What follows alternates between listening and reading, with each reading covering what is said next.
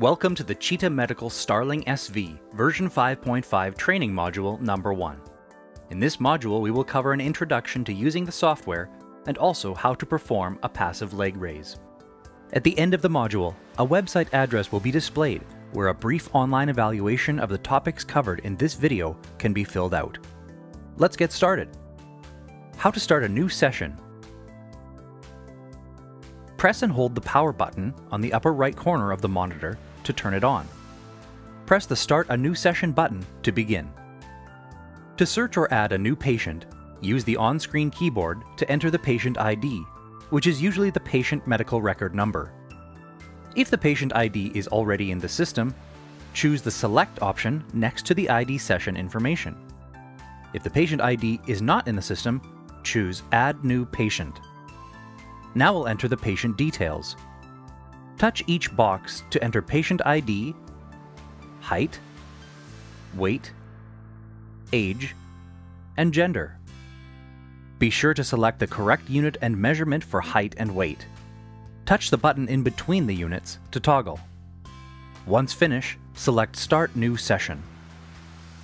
How to correctly place the Cheetah sensors. The sensors can be placed anywhere on the chest or back, as long as two are positioned above and below the heart. All four sensors do not have to be on the front. One can be on the front and three on the back, or two on the front and two on the back, as long as you have two above the heart and two below, and they are in their assigned quadrant. Ensure that each sensor is in the upright position. The white tab must point to the patient's toes. The picture and red mark on each sensor indicate the correct location for sensor placement on the anterior torso. The upper sensors can be placed to straddle the clavicle. Do not place the sensor directly on the clavicle. The upper sensors can be placed to straddle the trapezius, with the white tab pointing to the front. Alternatively, the upper sensors can be placed on the upper back with the white tab pointing to the toe. Be sure to place at least 2.5 to 3 inches from pacemakers, or simply put the sensor on the patient's upper back. The lower sensors should be placed below the rib cage, on flank, or on the patient's back. Do not place in skin folds. For patients with respiratory distress, place sensors on the back. For obese patients, the optimal spot for the lower sensors are on their flank or back. When placing sensors on the back, First, orient the sensors using the red tabs on the front of the patient, and then place the sensors in the same location on the back. Here are some tips to ensure sensor adherence. Clip or shave hair if necessary. Wipe skin with skin abrasive paper. Do not place the sensors on hair.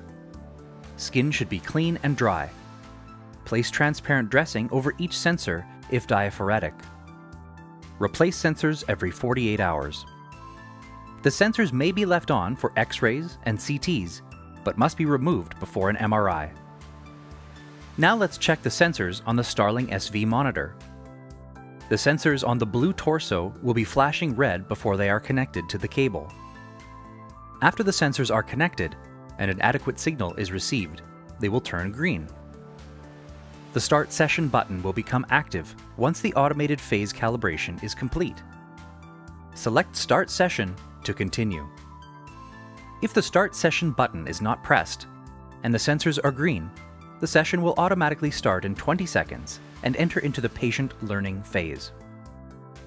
The Starling SV software will now collect learning information about the patient for about 90 seconds. During this time, a notification will appear. After completion, the notification will disappear. To recalibrate the monitor, navigate to the main menu select Session Controls, then select Recalibrate. Manual recalibration needs to take place once every 12-hour shift and any time the sensors are moved or changed. Let's take a tour of the basic screen display. This is the main menu navigation button. The Home button resets the current view to the default display that was chosen by your hospital. This button will open additional screen views. Use this button to maximize or minimize the screen. This arrow expands the lower screen. For help, press this Info button to open the Help menu. The dashboard view can be customized and show more data, but one touch on the Home button will return to the default view. On the dashboard view, the monitor is able to display up to four quadrants of data simultaneously. Hemodynamic profile, trends, clinical range, waveforms, dynamic assessment, and numeric. Each of these views can be enlarged to cover the entire display. Tap the Maximize Minimize button to enter full screen view. Tap the Collapse button to return to the dashboard view.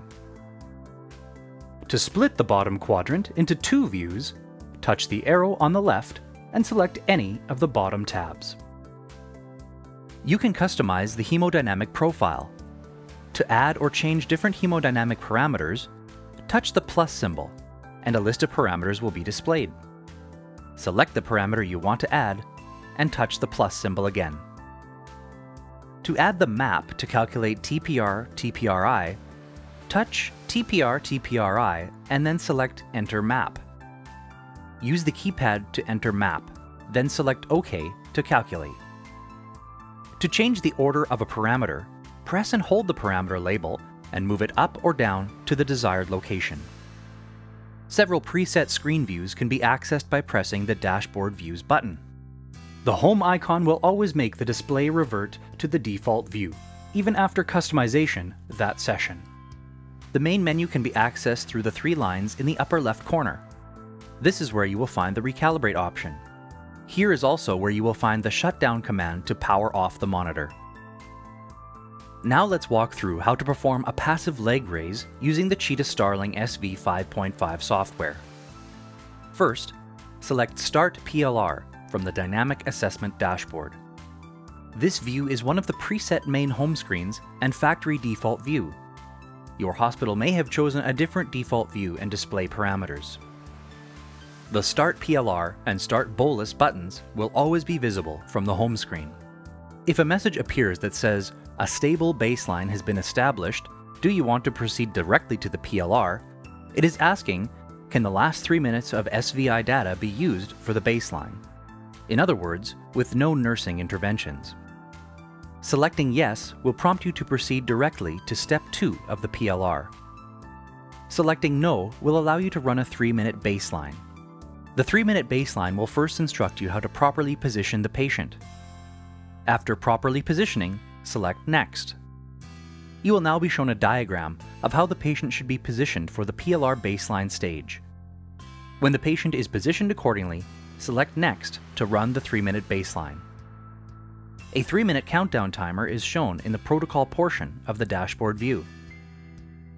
Once a PLR baseline is complete, a pop-up will instruct the user to change the patient position. After the patient is positioned correctly, select Next. The user may end the PLR dynamic assessment as soon as the patient is shown to be fluid responsive. If the patient's SVI increases to 10% or more, you may select End PLR.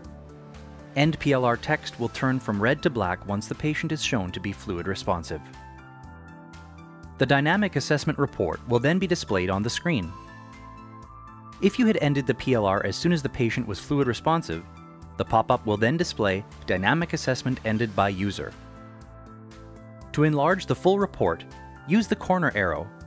To minimize the report, click the arrow again. Previous dynamic assessments will now appear to the left of the current dynamic assessment report. If a PLR challenge is ended before 3 minutes have elapsed, and when the SVI is less than 10%, an error message will warn the user. The end PLR text on the button will also turn red. Selecting Yes will end the PLR challenge and yield no results. Selecting No will take you to the PLR challenge phase without interruption. The clock will continue to count down, even if this warning appears. This completes the Cheetah Medical Starling SV version 5.5 training module number 1 please visit this website address to complete a brief online evaluation of the topics covered in this video.